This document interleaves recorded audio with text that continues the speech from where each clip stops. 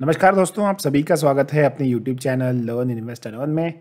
मैं हूँ आपका दोस्त अमित और आज के वीडियो में करेंगे निफ्टी और बैंक निफ्टी का इंडेक्स एनालिसिस और इसके साथ साथ देखेंगे कुछ स्टॉक्स जहाँ पर हमें लगता है एक अच्छा खासा मोमेंटम बन सकता है। वीडियो स्टार्ट करने से पहले मैं रिक्वेस्ट करूँगा उन व्यूवर्स से जिन लोगों ने अभी तक चैनल को सब्सक्राइब नहीं किया है। सब्सक्राइब बटन पर क्लिक करके चैनल को सब्सक्राइब कर लीजिए और बेल आइकन क्लिक करना ना भूलें, जिससे कि जब भी हम वीडियो अपलोड करेंगे, आपको तुरंत नोटिफिकेशन आ जाएगा। चलिए चलते हैं चार्ट्स के ऊपर देखते हैं किस तरह का मोमेंटम हम इस वीक में एक्सपेक्ट कर रहे हैं।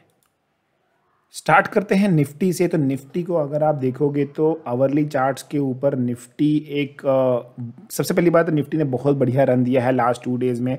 तो यहाँ पर आ, मैं अवेलेबल नहीं था। ये चीज़ मैंने टेलीग्राम चैनल पे अपडेट की थी। लेकिन एक ट्रेंड लाइन थी। ट्रेंड लाइन के आसपास three six thousand sixteen thousand three fifty के आसपास एक निफ्टी को रेजिस्टेंस था। मल्टीपल टाइम्स उस रेजिस्टेंस को टेस्ट करते हुए नज़र आया था। शॉर्टर टाइम फ्रेम के ऊपर देखिए यहाँ पर आया था एक बार यहाँ। फिर यहाँ पर थोड़ा सा कंसोलिडेशन आया था और फिर एक दमदार ब्रेकआउट आया। अभी अगर आप लास्ट दो कैंडल्स देखेंगे निफ्टी के यहाँ पर तो एक आवरली चार्ट्स के ऊपर एक इनसाइड कैंडल बन रही है और मुझे लगता है कि निफ्टी एक बार 16,500 क्रॉस हो गया है यहाँ पर ठहर रहा है तो थोड़ा सा कंसोलिडेशन यहाँ पे हो सकता है या फिर थोड़ा सा एक गिरावट आ सकती है बहुत ज़्यादा नहीं मुझे लगता है मैक्स टू मैक्स ये 400 तक एक 100 पॉइंट्स का गिरावट आएगी जो एक हेल्दी करेक्शन माना जा सकता है। क्यों? उसके पीछे रीज़न ये है कि यहाँ पर अगर आप आर में देखोगे तो आर आपका ऑलमोस्ट 76 77 के आसपास तक आ चुका है जो धीरे धीरे एक ओवरबॉट जोन में जा रहा है। और निफ्टी ने अगर देखो तो यहाँ से एक वन वे रैली दिखाई है sixteen thousand one fifty sixteen thousand one hundred से सीधा चार सौ पॉइंट की रैली आई है वो भी दो दिनों में।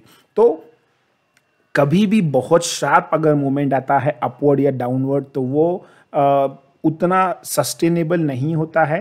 थोड़ा बहुत वहाँ पर कंसोलिडेशन अगर आ जाए, इस लेवल पर थोड़ा सा गिरावट आ जाए तो यहाँ पर एक अच्छा खासा साइन हो जाएगा आने वाले मोमेंटम के लिए। क्योंकि अगर यहाँ पर साइडवेज मोमेंटम अगर आ गया, यहाँ पर निफ्टी अगर 400 के ऊपर ठहर गया तो यहाँ पर एक अच्छा खासा ऊपर का मूवमेंट आ सकता है। इसके पीछे अगर डेटा में ऐड कर दूँ तो आपका जो एनालिसिस है, वो और भी स्ट्रांग हो जाता है। क्योंकि अगर निफ्टी को हम लोग देखते हैं जो आने वाली वीकली एक्सपायरी है इसके हिसाब से तो यहाँ पर सबसे ज़्यादा जो पुट राइटर्स बैठे हुए हैं वो है 16,400 so which will act as a very good support on the lower side और अगर ऊपर की तरफ़ देखो तो कुछ ज़्यादा इसमें रेजिस्टेंस आ नहीं रहा है। 16,500 16,600 पे 3 मिलियन कॉन्ट्रैक्ट्स बैठे हैं मतलब तकरीबन 30 लाख कॉन्ट्रैक्ट्स यहाँ बैठे हैं दोनों ही स्ट्राइक प्राइस पर। उसके बाद सीधा 16,800 पे 3.8 तो ऊपर की तरफ़ 600 500 800 और उसके बाद सीधा 17,000 इन सारे लेवल्स पर equal amount of contracts open है जो कॉल राइटर्स के बैठे हुए हैं।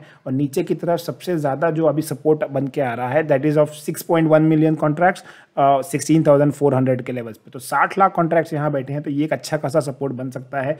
लेकिन जो चिंता जताने वाली बात मुझे निफ्टी में नज़र आ रही है, वो है पीसीआर अगर आप पीसीआर देखोगे तो 1.7 तक पहुँच गया है which is considered as overbought तो ये भी एक इंडिकेटर है कि हो सकता है, हो सकता है यहाँ पर हल्का फुल्का एक गिरावट आ जाए हल्की फुल्की एक पचास साठ पॉइंट की, सौ पॉइंट के आसपास का एक हेल्दी करेक्शन आ जाए। और या फिर साइडवेज मोमेंटम भी हो सकता है। और यहाँ पर ये होने के बाद एक अच्छा खासा साइन होगा निफ्टी को ऊपर मूव करने के लिए। तो ये दो सपोर्टिंग पॉइंट नज़र आ रहे हैं। आरएसआई भी अच्छा खासा सपोर्ट कर रहा है। इस चीज़ को डेटा भी सपोर्ट कर रहा है। तो मैं पर्सनली अगर मुझे ट्रेड करना है तो किस तरह से ट्रेड करूँगा? तो मैं निफ्टी में बाइंग के लिए ट्रेड नहीं करूँगा।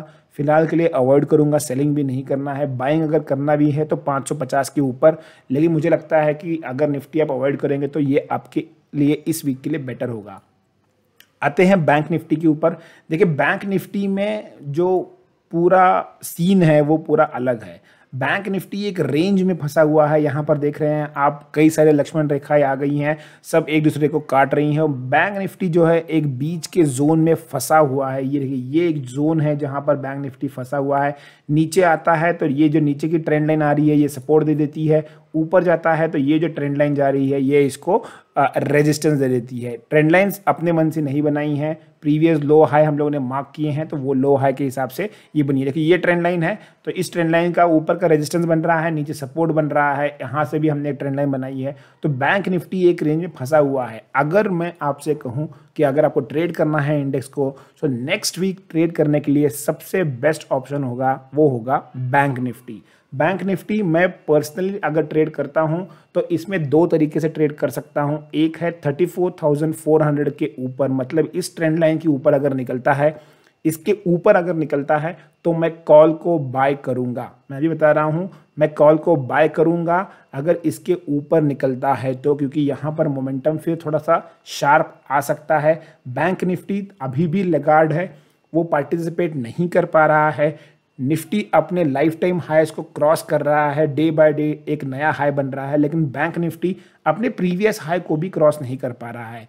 तो हो सकता है कि बैंक निफ्टी यहाँ पर कैचअप करने की कोशिश करे तो कल के ट्रेडिंग सेशन में बैंक निफ्टी लीड कर दिख सकता है वेर एज निफ्टी थोड़ा साइडवेज टू डाउनवर्ड मोमेंटम दिखा सकता है। बैंक निफ्टी में अगर आप देखोगे तो ऑप्शन uh, डेटा जो है यहाँ पर दिख रहा है कि छत्तीस हज़ार के ऊपर सबसे ज़्यादा पुट राइटर्स बैठे हुए हैं और जो कॉल राइटर्स हैं वो thirty six thousand thirty six thousand two hundred और thirty six thousand five hundred ये तीनों ही लेवल पर हैं। तो यहाँ पर एक मोमेंटम बन सकता है अगर ये 200 300 अभी 150 के आसपास है तो जैसे ही ये 200 के लेवल को क्रॉस करेगा यहाँ पर बैंक निफ्टी 200 के लेवल को जैसे ही बैंक निफ्टी यहाँ पे क्रॉस करता है, ऑप्शन बायर्स एक ट्रेड ले सकते हैं, अप टू 400 या 350 बोल सकता हूँ मैक्स टू मैक्स। यहाँ पर हम लोग लिख देते हैं, क्या करना है हमें? Buy bank Nifty above thirty six thousand two hundred और आपका जो टारगेट रहेगा, वो टारगेट आपका रहेगा 350 का। तो 150 पॉइंट का टारगेट लेके चल रहे हैं यहाँ पर। मैं पर्सनली बैंक निफ्टी ही ट्रेड करूँगा मुझे लगता है बैंक निफ्टी आपको एक बार अच्छा खासा चांस देगा बहुत तेज़ी से मूवमेंट करने के लिए। तो बैंक निफ्टी में नज़र बना के चलिए। अगर 350 400 के लेवल को बैंक निफ्टी क्रॉस करता है तो यहाँ पर एक शार्प शॉर्ट कवरिंग आपको नज़र आ सकती है, क्योंकि देखो छत्तीस हज़ार पर जो कॉल रेटर्स बैठे हैं, छत्तीस हज़ार दो सौ पे जो बैठे हैं, ये दोनों मिला के आपको एक अच्छा खासा सत्रह लाख कॉन्ट्रैक्ट्स का जो है, यहाँ पर आपको अच्छा खासा सत्रह से बीस लाख के आसपास कॉन्ट्रैक्ट्स हैं, ये आपको एक अच्छा खासा मोमेंटम देंगे बैंक निफ्टी को ऊपर खींचने के लिए। अगर 350 400 के लेवल को क्रॉस करता है तो यहाँ पर सबसे बढ़िया तरीका रहेगा कि आप 36,800 से लेके 37,000 तक के लिए यहाँ पर ट्रेड कर सकते हैं। कल का कल आएगा मुझे मालूम नहीं लेकिन अगर 350 400 के ऊपर कल क्लोज आ गया तो आप आने वाले वेडनेसडे तक इस बार की एक्सपायरी वेडनेसडे को है तब उससे पहले पहले आप 37,000 टच होते देख सकते हैं। तो शार्प शार्ट कवरिंग आ सकती है यहाँ पर। नज़र बना के चलिए। ऑप्शन बायर्स का वापस से दिन हो सकता है कॉल साइड में। तो इस तरह से ट्रेड करना है बैंक निफ्टी को। सेलिंग के बारे में सोचना नहीं है क्योंकि स्ट्रॉन्ग मार्केट में अगर आप अपोजिट ट्रेंड जाओगे तो नुकसान आप ही का होगा। अब देखते हैं कुछ और फैक्टर्स तो यहाँ पर विक्स अगर देखोगे तो विक्स हल्का सा बढ़ा हुआ है चार से पाँच परसेंट के आसपास। विक्स में यहाँ पर राइज आया है। ऑप्शन राइटर्स संभल के रहिए यहाँ पर। यहाँ पर एक शार्प अगर शॉर्ट कवरिंग आती है तो थोड़ा सा आपको हिट कर सकता है। गोल्ड में अगर देखते हैं बहुत शार्प बाउंस बैक आया है 45,700 45,800 के लेवल से। और ओवर सोल्ड हो गया था 20 के नीचे आ गया था ऑलमोस्ट 20 पर आ गया था आरएसआई तो यहाँ पर एक बाउंस बैक एक्सपेक्टेड था लेकिन ये जो ये वाली लाइन है, ये वाला सपोर्ट जो हमारा है, ये इसने ब्रेक करके ऊपर चला गया है, ये एक्सपेक्टेड नहीं था। मुझे लगा ये नीचे आके यहाँ पर एक बार रेजिस्टेंस लेगा और फिर नई जर्नी स्टार्ट करेगा।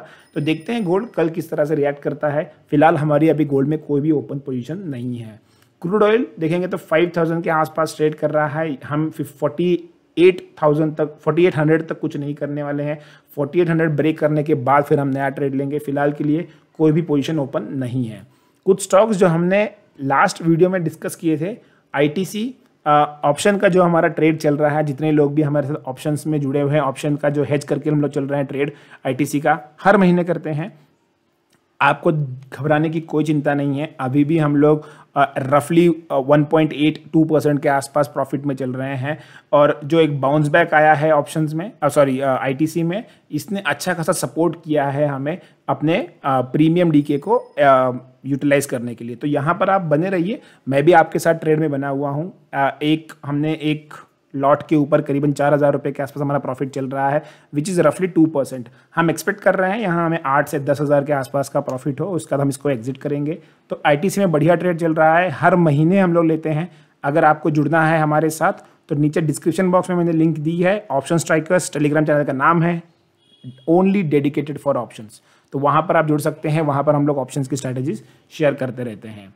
जो नेक्स्ट स्टॉक हमने दिया था, ये था H C L tech H C L tech में देखिए buy above one zero seven zero कहा था तो यहाँ पर एक अच्छा खासा मोमेंटम आ गया है। हमने ये भी कहा था कि स्विंग प्लेयर्स के लिए ये बहुत अच्छा पॉइंट है। यहाँ पर आप बाय कर सकते हो, छोटा सा स्टॉप लॉस लगा सकते हैं वन ज़ीरो फोर ज़ीरो का। तो अच्छा खासा यहाँ प्रॉफिट हो रहा है। सेफ़ प्लेयर्स बुक कर सकते हैं या फिर अपना स्टॉप लॉस उसको ट्रेल कर लीजिए। इंडसइंड बैंक, अभी भी मैं कह रहा हूँ, ये वीक स्टॉक है। हमने 1030 के नीचे सेल कहा था। 1021 तक जाके आया है। 1024 का इसमें क्लोजिंग है।